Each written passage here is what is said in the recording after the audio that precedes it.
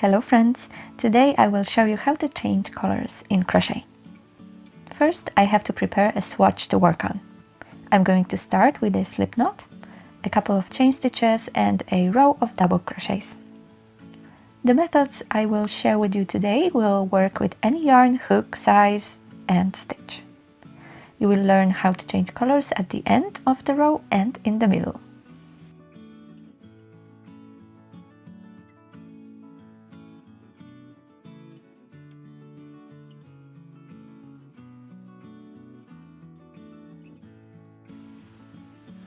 Alright, this is the last one of my double crochets in the row.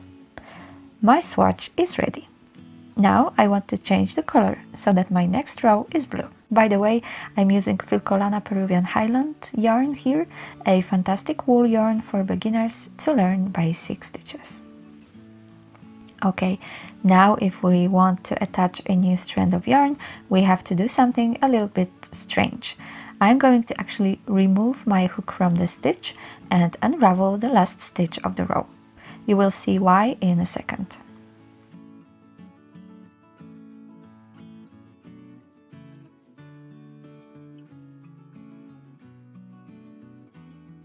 Now let me redo this stitch, but I'm gonna stop before the last move.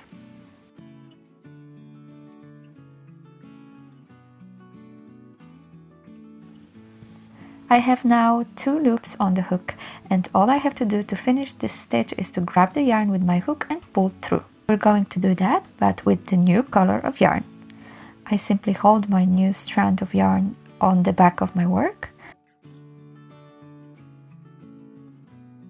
then grab the yarn and finish the stitch with a new color.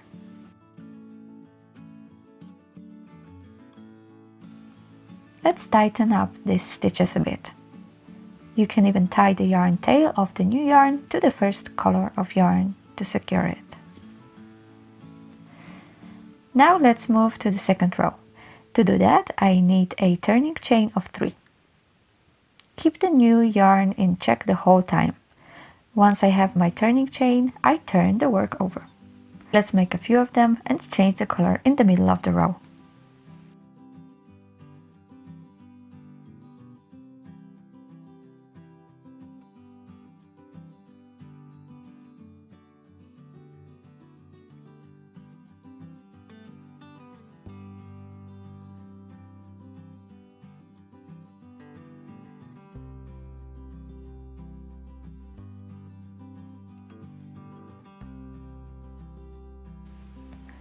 Okay, I now have 5 double crochets in my second row. Let me grab a new color, a lovely rosy pink one. Let's see what would happen if I added a new color in the next stitch instead of finishing the last one. What I'm doing here is a sloppy standing stitch, but it will show you nicely what not to do when changing colors.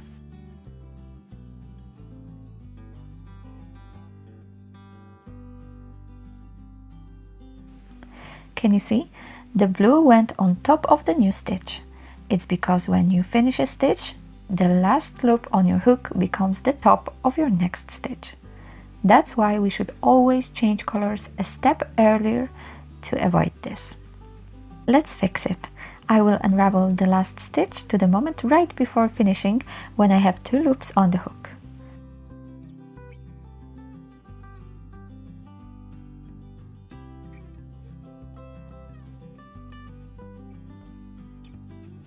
If I attach the new yarn here and pull through, the last loop is already pink.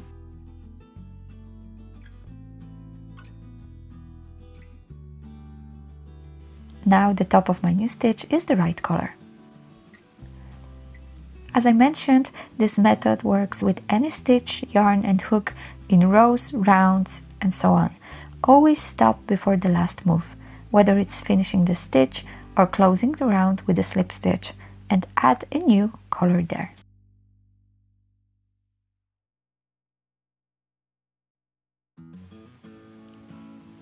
Thanks for watching. If you liked this video, please give it a thumbs up and subscribe to my channel. If you have any questions or would like to see more, please leave suggestions and feedback down below. Thanks and have a creative day.